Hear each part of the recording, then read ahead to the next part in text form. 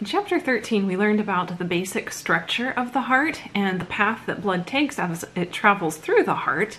And we also learned about the electrical activity of the heart initiated by those pacemaker cells on top of the right atrium.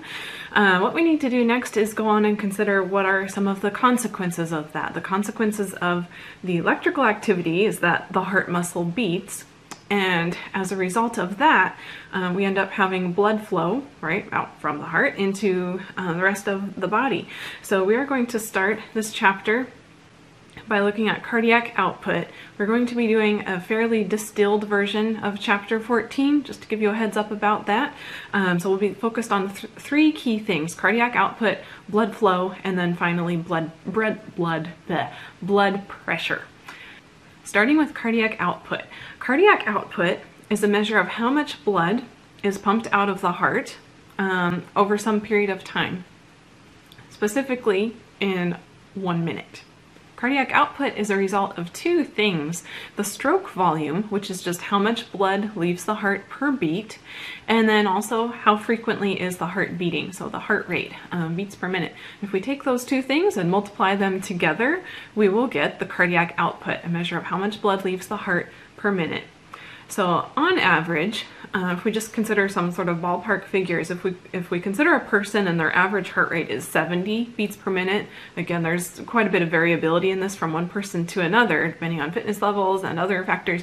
Um, but if we take an average heart rate of about 70 beats per minute, and then if an average stroke volume, so how much blood is leaving the heart per beat, um, if that's about 70 mils, 70 to 80 mils, um, if we multiply those two things together, we will get an average cardiac output of 5,500 milliliters per minute. Think about that number. This is saying every minute, five and a half liters of blood is pumped out of the heart. Um, if you recall from, from the last chapter, from chapter 13, we said that an average adult has in total about five liters of blood.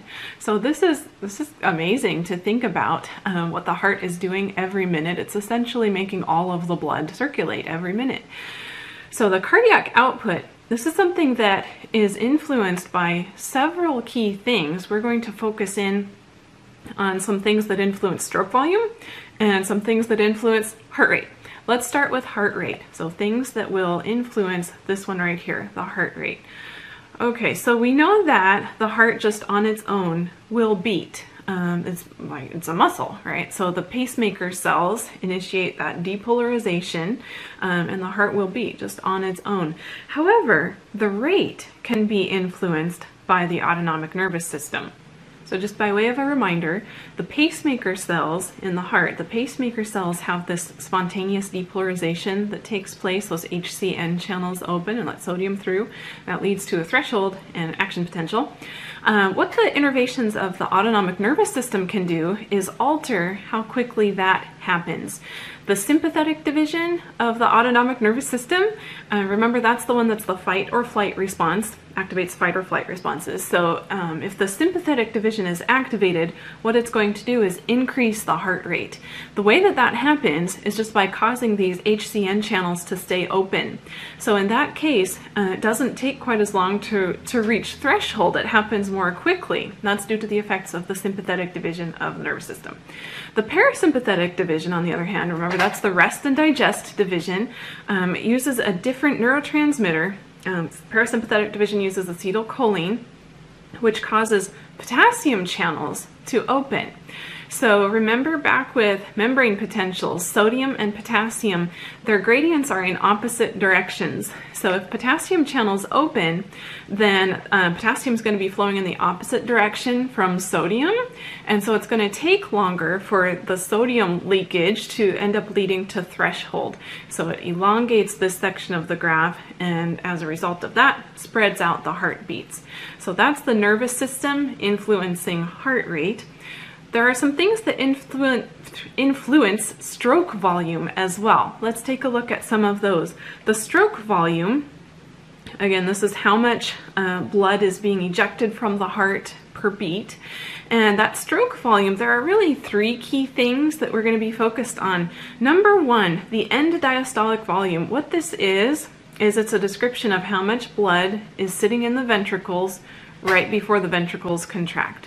So at the end of diast diast diastole, at the end of diastole, so at the end of the resting phase, um, how much blood, what volume of blood is sitting there in the ventricle.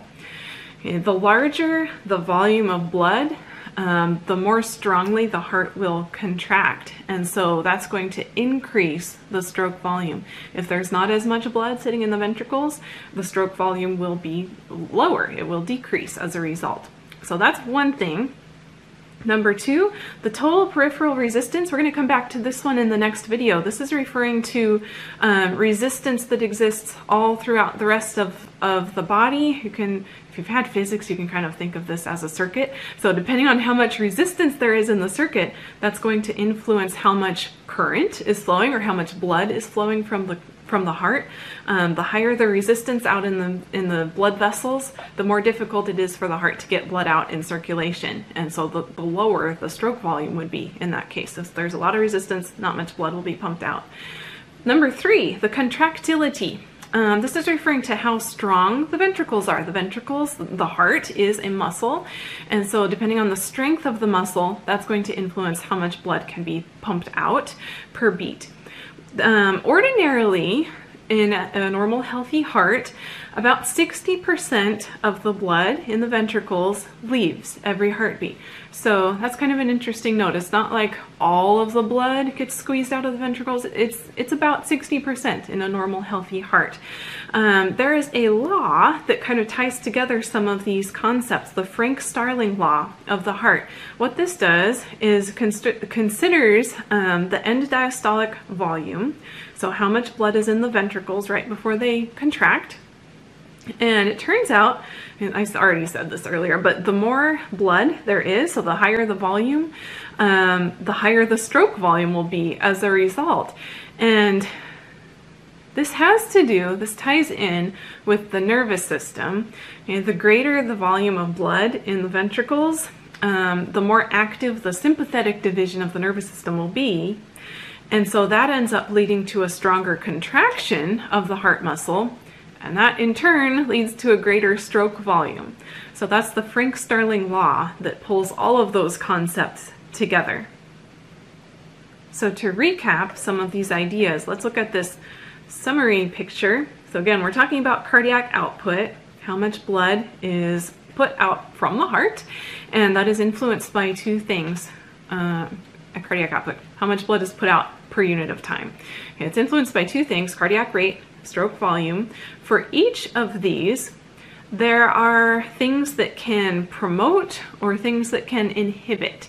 So cardiac rate, we can increase cardiac rate with activity of the sympathetic division of the nervous system. We could decre decrease cardiac rate by activation of the parasympathetic division of the nervous system. Coming over to stroke volume, some things that increase stroke volume would be how strong the contraction is. The stronger the contraction, the greater the stroke volume. Um, the greater the amount of blood sitting in the ventricles, the stronger the contraction will be, so that's going to increase the stroke volume as well. And then finally, um, what is it that decreases stroke volume? Uh, resistance in the blood vessels. So uh, again, we'll be coming back to blood vessels in the next video.